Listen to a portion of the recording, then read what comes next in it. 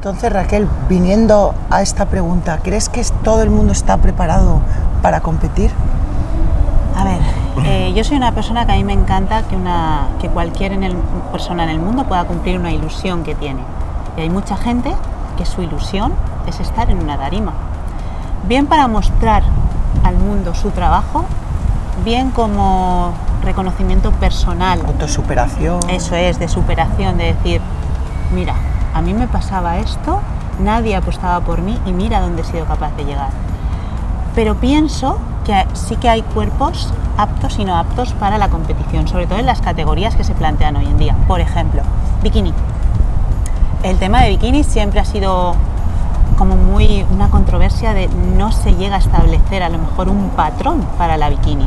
Entonces, ves a niñas con físicos de escándalo, preciosos, que no dejan de, de machacarse y degradar esa- ese tono muscular que les, ha que les ha costado llegar ahí, porque necesitan sí o sí encajar en lo que se pide. Y a mí eso me, me entristece, porque luego a lo mejor han quedado cuartas o quintas y las ves llorando y no valoran en ese momento todo lo que han hecho para llegar ahí. Eso es lo que a mí me indigna un poco de la competición, que tú has llegado a conseguir con todo el esfuerzo que has tenido que hacer un físico para encajar y no eres capaz de aceptar que a lo mejor no es bueno que compitas y es bueno que tengas un físico increíble simplemente para ti, para lucirte, para hacerte unas fotos, para lo que sea. Ahí voy yo. No sé si estáis de acuerdo. O ser consciente de que, vale, estoy llevando mi físico a lo que me están pidiendo, Eso es. soy consciente de ello y estoy de acuerdo. Pero luego no, hostia, ahora me siento mal, ahora... Eso es, tal cual. Yo diría que sí, pero si me quiero preparar así, o sea, de decir, tengo un físico excelente para mí, o quiero un físico excelente para mí, no competiría.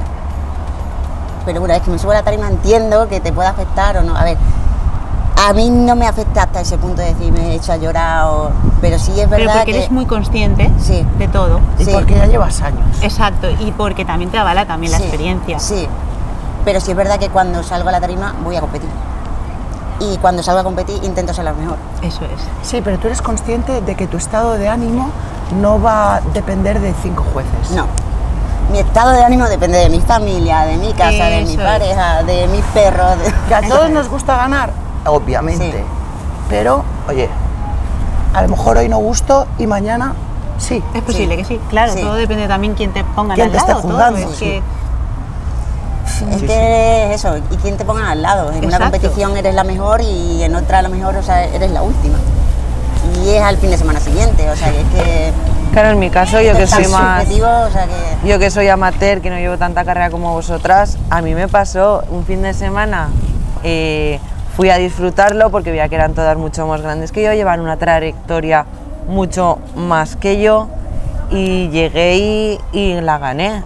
Le gustaba mi estructura y el siguiente fin de semana estaban las mismas, creo que había una chica nueva y la chica que el fin de semana anterior quedó cuarta me ganó.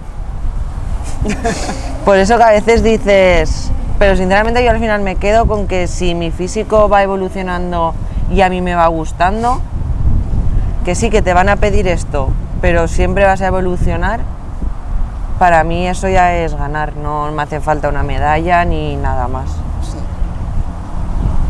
Yo creo que lo, lo más importante a nivel de competición es tener una mente bastante trabajada, saber a lo que te expones y saber sobre todo que el físico, el físico de competición es el físico de competición. Sí.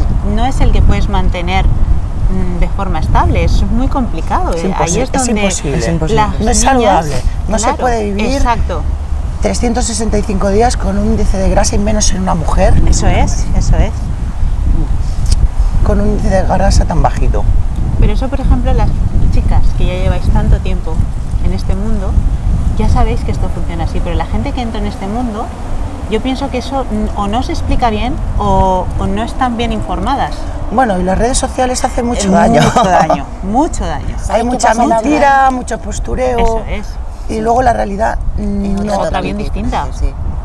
Pasa también mucho que el cambio de, de cuando estás en competición a cuando entras en volumen muchas veces es muy rápido, ¿sabes? Y estás tan acostumbrada a estar así sequita, a salir para competir y tal, que de repente pegas ese cambio y dices, A ver. Espérate. Necesito ropa nueva. mirando al espejo. Necesito ropa nueva. me estoy mirando al espejo y no soy la misma, ¿sabes? Y hazte la idea en una semana ya de que no eres la misma, porque entre agua, que comes, que no sé qué, no sé Eso, qué, o sea, siempre- esperas un cambio del carajo, ¿sabes? Y dices tú, venga bien. O sea, adáptate mentalmente a eso. Si es verdad que, que tras competiciones ya te hace y dices, me va a pasar, ¿sabes? Me va a pasar y ya está. Pero muchas veces, incluso hasta el contrario, cuando pierdes, cuando empiezas a perder y empiezas a secar, que yo me miro las piernas y digo, si cuando tenía 15 años me las tenía así, ¿sabes? Nunca nos vemos bien, Es ¿no? verdad, siempre son pegas. Lo voy a llevar una temporada, te hace, pero sí es verdad que las competiciones y la experiencia te hacen el ver que, bueno, que hay etapas y etapas, ¿sabes? Y disfrutar lo que se puede de cada etapa y ya está. Cuando estás compitiendo de la tarima y cuando no, pues de tu vida personal y de poder comer, entrenar. Y-. Y sí que es verdad que nosotras, al ser mujeres, estamos un poco más supeditadas al estar siempre listas y bien. Que un hombre fuera de temporada está bien, sí. Una mujer, hostia, cuidado, no te pases, ¿eh? Claro, y es lo que tú has dicho, sobre todo el tema de las redes sociales. La gente a veces que tira de carrete y solamente muestra en una red social sus fotos de competición o sus fotos del book o sus fotos de donde se ve esa imagen.